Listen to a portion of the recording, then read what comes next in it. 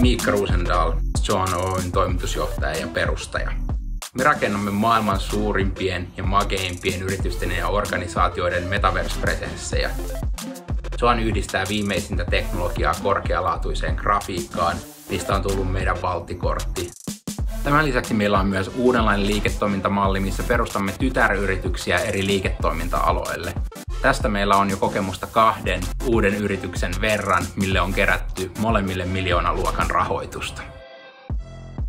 Yritys on perustettu 12 vuotta sitten.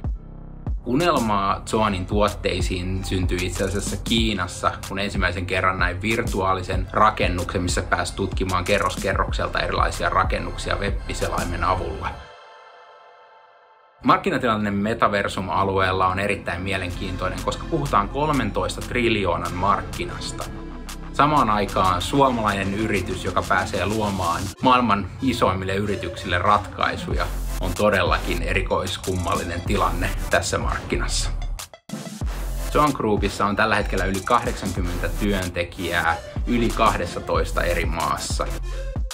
Sonin viime vuoden liikevaihto hipoi 5 miljoonaa ja meillä on perinteisesti tapana yrittää tuplata liikevaihto joka vuonna. Meille suomalaisyrityksille kansainvälistyminen ei ole pelkästään mahdollisuus, vaan välttämättömyys. Meille vastuullisuus näkyy erityisesti siinä, kun luomme omaa Cornerstone.land metaverse-alustaamme. Haluamme olla luomassa tulevaisuutta, missä teknologia ei ole vahingoittamassa planeettaa tai ihmismieltä.